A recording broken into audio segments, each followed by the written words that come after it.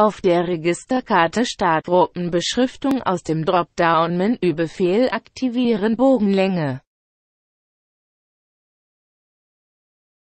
Auf dem Zeichenfeld bewegen Sie den Mauszeiger über das Objekt. Drücken Sie die linke Maustaste bewegen Sie den Cursor stellen Sie die Position der Bemaßungslinie ein. Drücken Sie die linke Maustaste